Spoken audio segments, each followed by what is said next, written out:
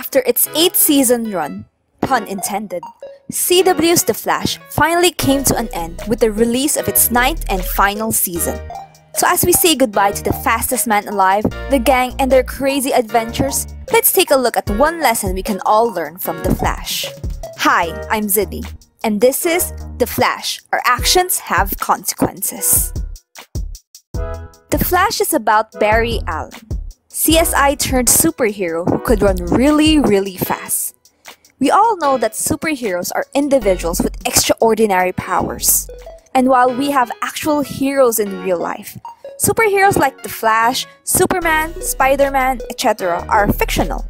I mean, you already know this. So, therefore, they don't necessarily follow the rules of real life.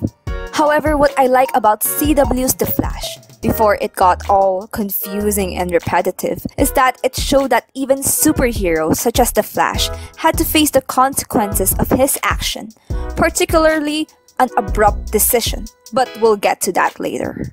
First, let me explain a very important event in Barry Allen's life for those who are not familiar with CW's The Flash.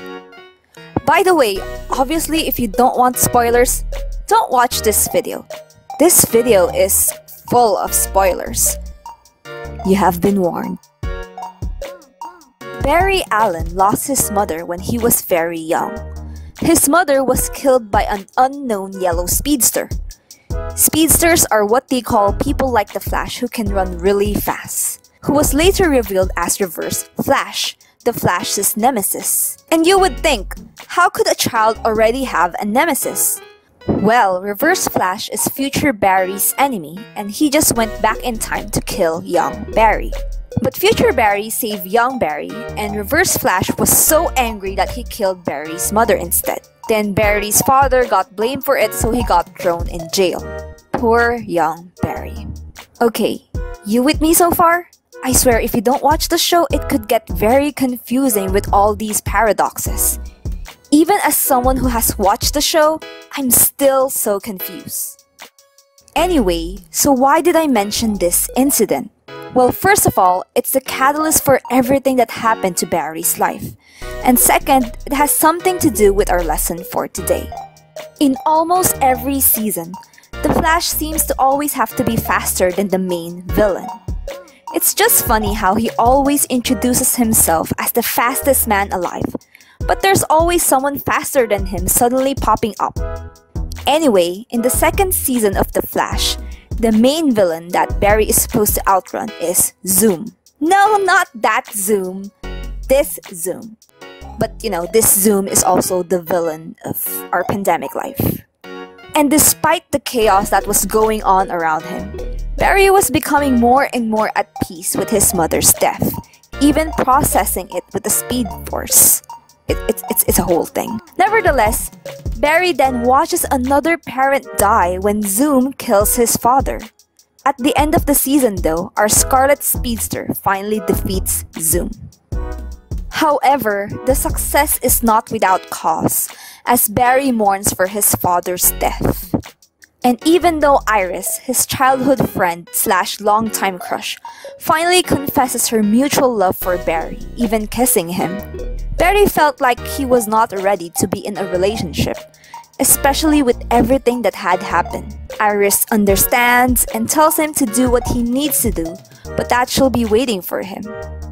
And this necessary task for Barry was to go back in time to stop Reverse Flash from killing his mother. And that's when the events of Flashpoint began. Are you guys still with me? I hope so. In the following season, as Barry enjoys his complete family, the captured Reverse Flash warns him of the consequences of changing the timeline. Barry eventually realizes that he will lose all his previous memories and even his superpower, so he goes back in time again. By going back, Barry assumes that it would reset the original timeline. At first, it seemed like everything did come back to normal. However, we later find some significant changes. Joe and Iris don't talk anymore. There's a guy at work, a new guy, who doesn't like you. You never kissed Iris, and Cisco's brother is dead. Admittedly, that is an issue. And what if there's more? Who's that young boy with Dig? No way, he didn't have a kid before? Oh, he had a kid. He has, he has a kid. Yeah, it was baby Sarah. Baby John. No. Are you? When Barry realized these changes, he tried to go back again in time to reset the timeline.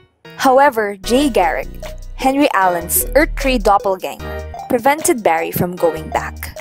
He explained, This coffee cup right here, think of it as the space time continuum.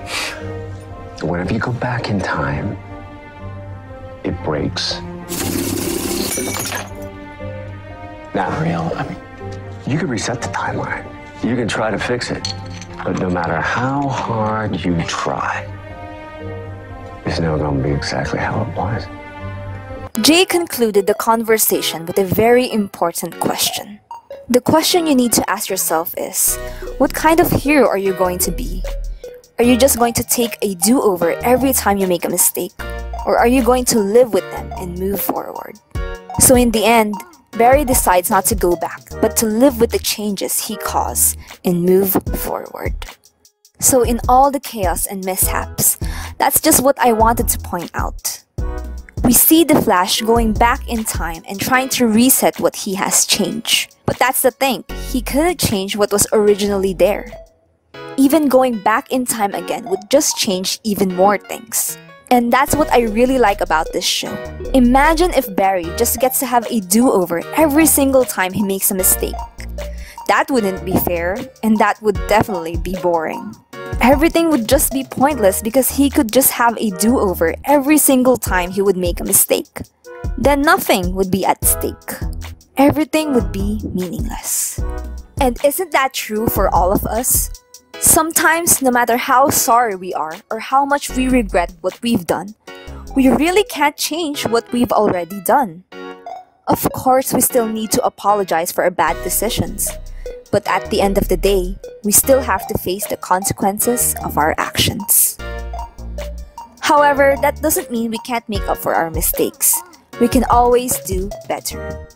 And I guess that's what mistakes and consequences are for so we learn to be better. Barry Allen, you will be missed. Thank you for being the best, Grant. You had a wonderful run.